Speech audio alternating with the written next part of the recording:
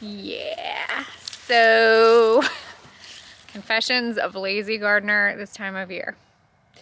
I've got a lot of dead stuff growing in my garden. A lot of it. But we're gonna be a little bit more positive. It's not exactly dead. Yeah, this is actually looking pretty dead.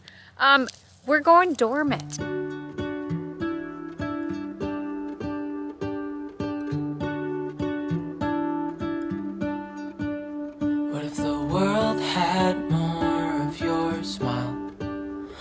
If the wind could spread your love? What if your sweetness could reach everyone? There'd be no wars. Mm.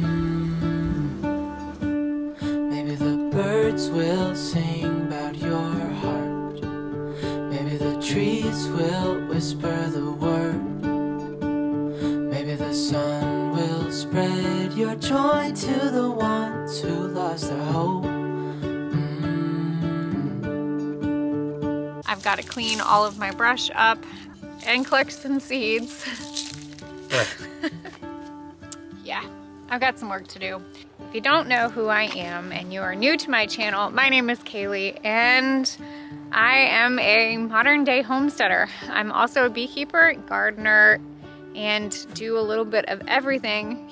I take my camera around and I share a lot of what we do here on the farm with you guys, whether you guys are dreaming to have your own homestead or you are just living vicariously through me. I welcome all and anyone.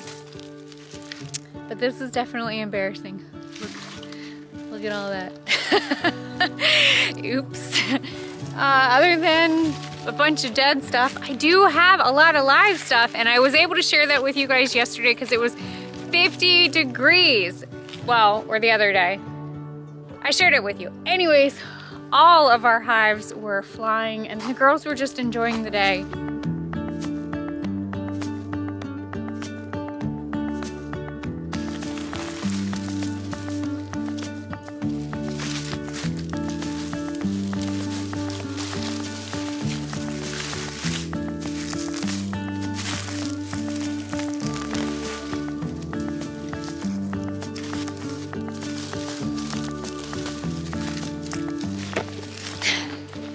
Those were all basil plants. my hand smells like, my hand smells like basil. this was my first year growing in the ground cover. And I cut holes in the ground cover about a foot apart, depending on what I was planting. And I can already say it's a lot easier. Although I do understand the aspect of tilling, pulling everything up and tilling it and having it nice, but I am trying to experiment with the whole no-till gardening and, and learn a couple of different traits and skills from other gardeners. Now, this ground cover definitely saved me because I am not the most productive gardener and you guys see just a little glimpse of my life, but outside of growing vegetables, I do keep many hives and am anticipating a lot more hives this coming spring. My main idea for gardening is to garden with the least amount of work or maybe that's just justification for me being lazy, but I'm not. I swear I'm not. I just have a million other things that I'm also doing on top of gardening. The lazy gardener in me really likes this ground cover. Um, yeah, there were some weeds that broke through, but essentially nowhere near the amount of weeds that I experienced in the past strictly growing in ground. Now there are some things that I could have done different. I could have used mulch, I could have used cardboard, um, but this just, I wanted to try this. And isn't that, that's what gardening is about, is trying new things and seeing what works and what doesn't work. At least for homesteading, it is.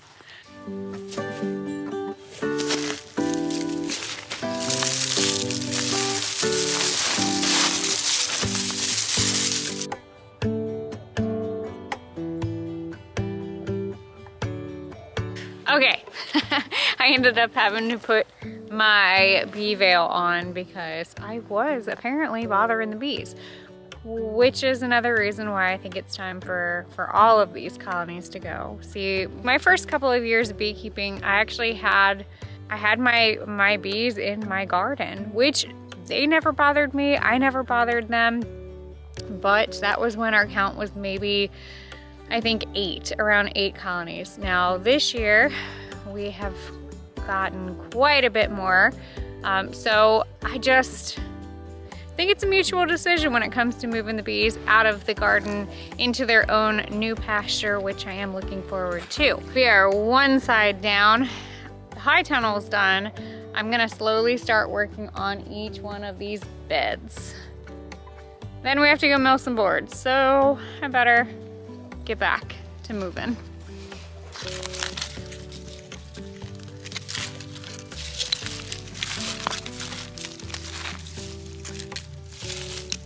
Ah. There's another one.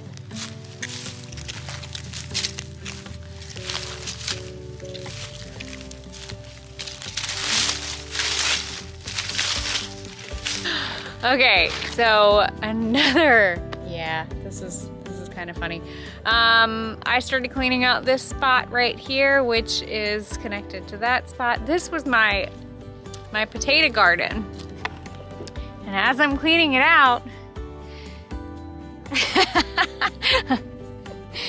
I'm finding potatoes. Look at all my little potatoes. Okay. Um, so I'm gonna say there's probably a lot more potatoes in this area. So I just love garden surprises and this is definitely one of them. So we're having potatoes for dinner. I got a good portion of the garden kind of cleared out and not all of it's done and I won't do it all today. But, but I know that here in the next couple of days there are gonna be some warmer days and, and no snow. So this time of year when I'm not working in my garden, I do a little bit here and a little bit there to kind of keep me busy.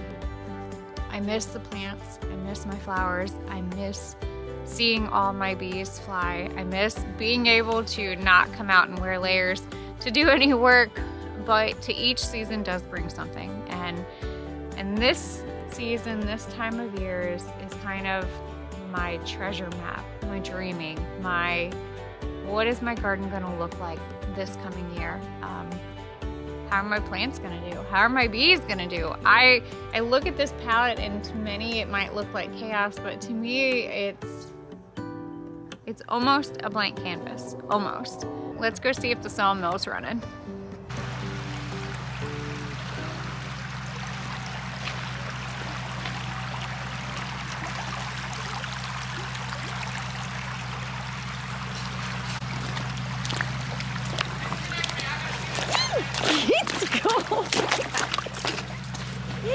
a little little deeper than what I thought.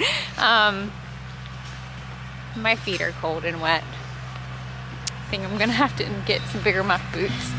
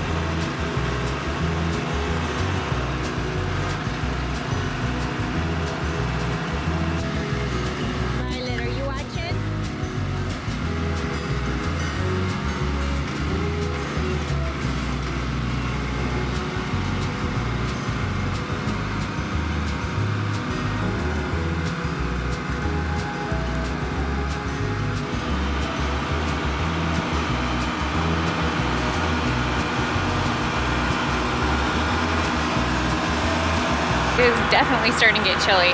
So they're not gonna operate the mill today, but what we're doing is kind of getting everything lined up and ready to go for our next mill day, which I feel like we might do a little bit tomorrow, but not 100% sure. It is gonna warm up, so we're gonna take advantage of that. The log that's going on the mill right now is a massive ash tree, and that log is hopefully gonna finish giving me all the panels for our fence to finish fencing around our new garden area.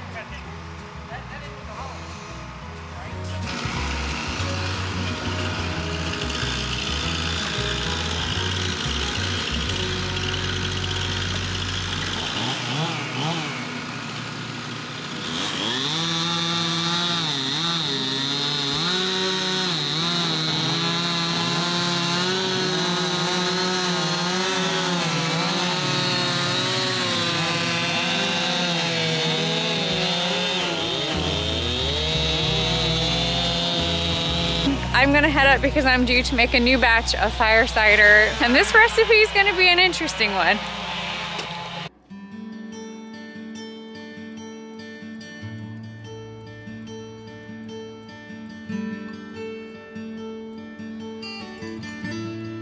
So mom already beat me to the fire cider, which is fine. You guys should see this fire cider. It's absolutely beautiful. And what's in it? Blood red oranges and um, navel oranges and they've been scrubbed really good. You put just sliced and put them in there. Um, I had a special treat which was Meyer lemons. So there are Meyer lemons in there also sliced really thin.